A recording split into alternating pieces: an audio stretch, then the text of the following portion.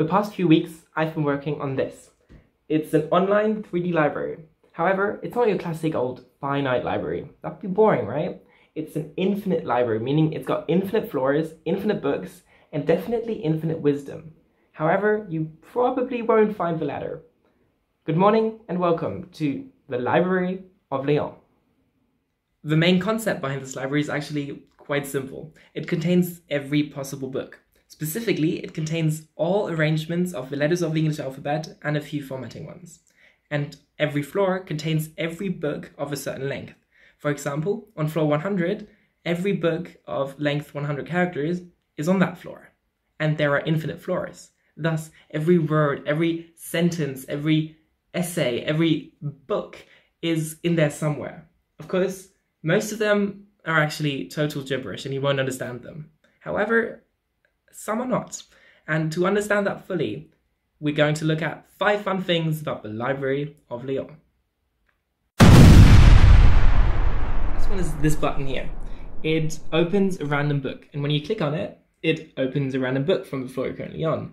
And there's a tiny chance, very, very tiny chance, that it shows a text about you, about your personality, about the secrets you have. Maybe it could contain the solution to the hardest problem of science right now.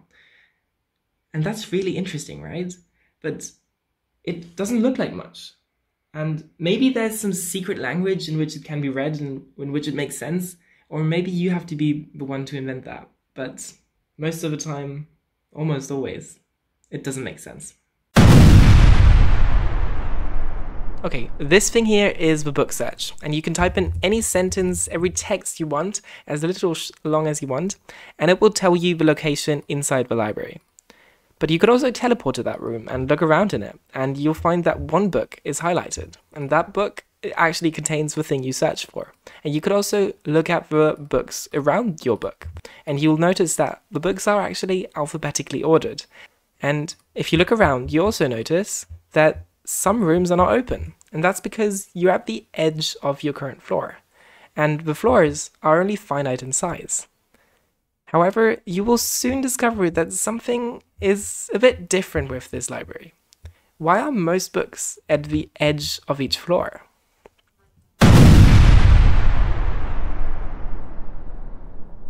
One main challenge of this library is searching for books not only by teleporting, but by actually showing you the path how to get there. And you can show that path with this button here. And if you click it, you see these arrows on the floor that you can follow to the book. And if you follow them, you will actually arrive at the room we were previously in. And if you think about this, it's even almost impossible, right? The number of rooms is absolutely huge. Let's go to floor 20, for example. That means that for every character in the book, let's say it's A, B, C, D, E, F, and continues, you have 30 different options because you have all the letters from A to Z, you have a space, you have a dot, you have a comma, and you have a new line character. The new line character means that there's another line after that. So these are 30 different characters that you have. So if the book is 20 characters long, you have 30 to the power of 20 different options because that, that's 30 options for the first letter times 30 30 for the last letter, right? Or we can we can simplify this. This is approximately equal to 3.5 times 10 to the 29, and this number is huge. It's it's a number of 29 digits, right? And that's really big. So how many rooms are there? Well, let's say that each room has approximately 1,664 books. To get the number of rooms, we just divide this by this. 2.1 times 10 to the 26 different rooms. And that number is still absurdly huge, right? That's a number of 26 digits. So this number is definitely too large to wander around in a normal world. But luckily, our library doesn't exist in a normal world. Let's look at our library. If you go forwards and then left, you end up in a different room than when you go left and then forwards. And this is basically a non-Euclidean geometry that we're achieving with this, and this enables the number of rooms to grow exponentially. And that gets crazy. See this error here? Let's go around the corner and... Uh, whoops, it's gone. That's also a reason why you're following the path. It looks like you're going in circles, but how much does this really shorten the path to any given room? So let's calculate that. At the beginning, you're here in the middle, and you have four doors to visit. One, two, three, four. And each one of these doors gets you to a unique room, right? And let's say you go through this door, then you have only three more new doors to go through because the one that you came from just takes you back to the previous room, right? So the number of rooms that you can visit by going through n doors grows exponentially, or it grows with 4 times 3 to the n minus 1. And this is an exponential function. And to the active listener, you may have noticed this is really cool because, interestingly, since the number of rooms and the number of books they grow exponentially, they both grow linearly to each other. And this is really interesting. This means that the path length actually grows linearly. For example, if you were to search a book that's 300 characters long, it would only take approximately 900 steps because the factor between these is approximately 3 as shown in the paper I'm including now. And if you want a detailed explanation, stop now, else we're going to the next point. As you may have noticed, I've included a comment function here and you can write your comment here and comment any book you want. You, for example, I could write Max Giesinger, and Max Giesinger writes, "Hello, this book is amazing," and you can only include the characters that are actually available in the library itself. So I'll have to leave those away, and when you submit them, they'll appear in the book. And this is actually really interesting because, of course, there are infinite books, but not all books contain comments, and it's really quite hard to find them. For example, if I just click on a random book, there's probably no comments there.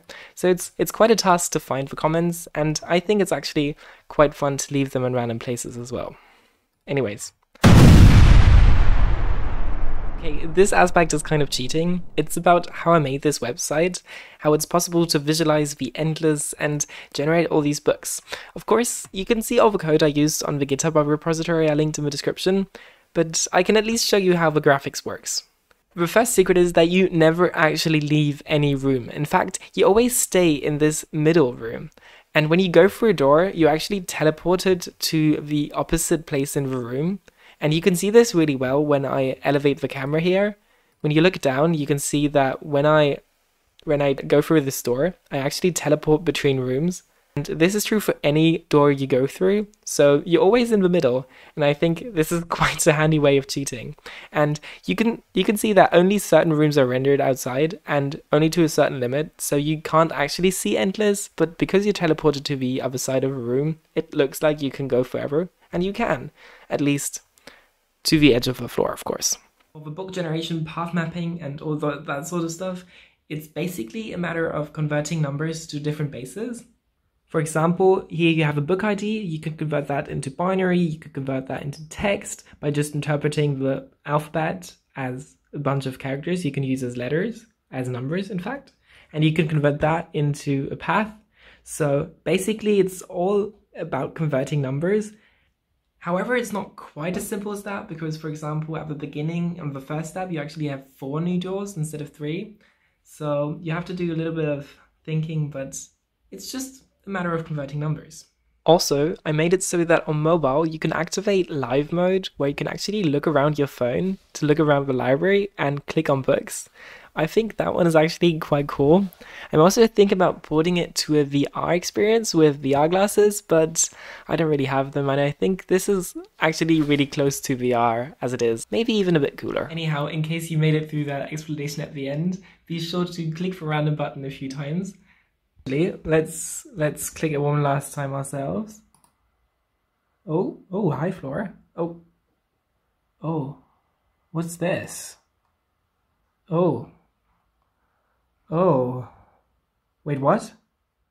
Anyhow, as some of you, or most of you probably have noticed, this idea of arranging all the books, of all arrangements of possible letters, this isn't exactly new, nor is it from me. It's actually, to the best of my knowledge, from this guy, Jorge Luis Borges, sorry for my pronunciation. He's written this short story in 1941 where you have men living in these hexagonal rooms that are full of books in this seemingly infinite library the Library of Babel, he called it, which, by the way, has a worse acronym than mine.